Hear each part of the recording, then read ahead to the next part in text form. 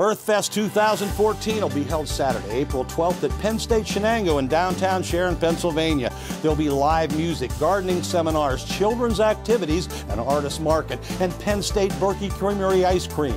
Get tips and information from earth-friendly local businesses, organizations, and agricultural programs. Bring your old computers and cell phones to the recycling drive. Penn State Shenango EarthFest 2014 is free and open to the public. For more information, visit us on Facebook.